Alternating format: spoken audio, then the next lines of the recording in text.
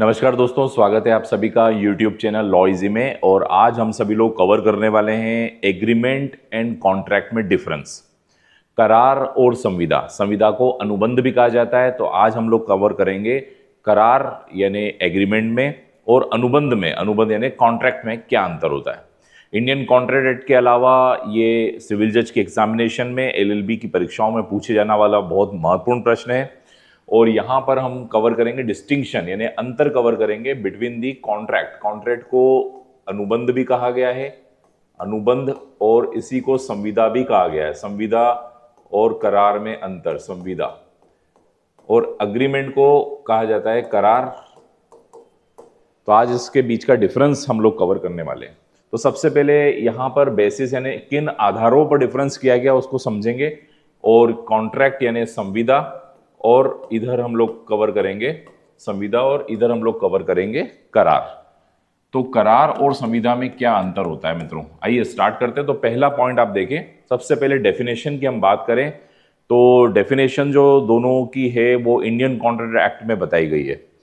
सबसे पहले contract is an agreement enforceable by law तो सबसे पहले बात ये कही कि जो कॉन्ट्रैक्ट होता है, जो अनुबंध होता है वह करार होता है लेकिन ऐसा करार जो विधि द्वारा प्रवर्तनीय है मतलब जिसको कानून प्रवर्तन करता है कानून हेल्प करता है उसे इन्फोर्स करने में।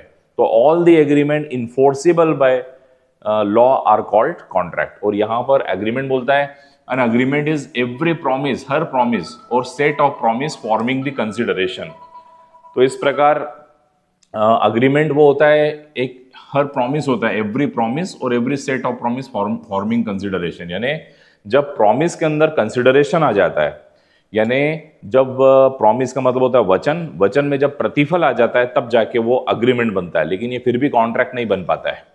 दूसरा इन्फोर्सिबिलिटी प्रवर्तनीयता की यदि हम बात करें तो कॉन्ट्रैक्ट में एवरी कॉन्ट्रैक्ट इज़ इन्फोर्सिबल जितने भी कॉन्ट्रैक्ट होते हैं, वो इन्फोर्सिबल होते हैं मतलब कानून द्वारा इन्फोर्स होते हैं।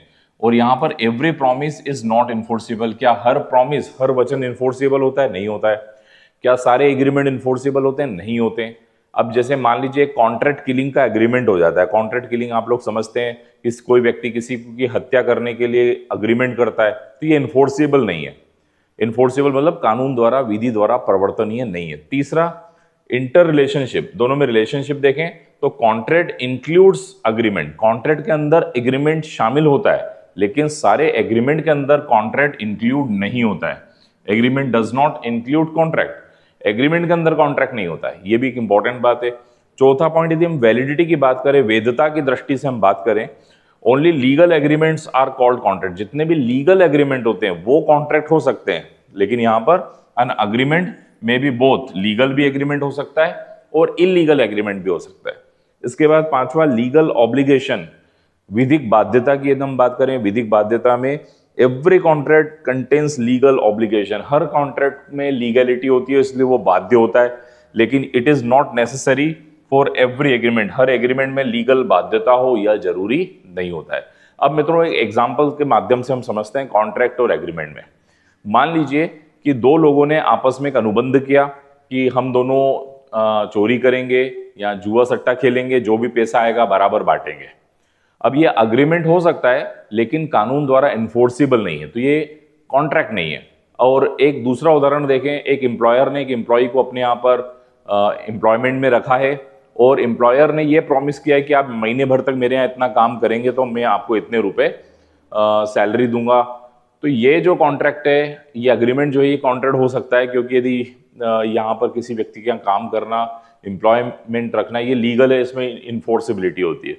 तो ये है मित्रों difference between agreement and contract I hope you enjoyed this lecture Indian contract के इसी प्रकार के अन्य वीडियो को देखने के लिए सब्सक्राइब करें YouTube channel law easy thank you so much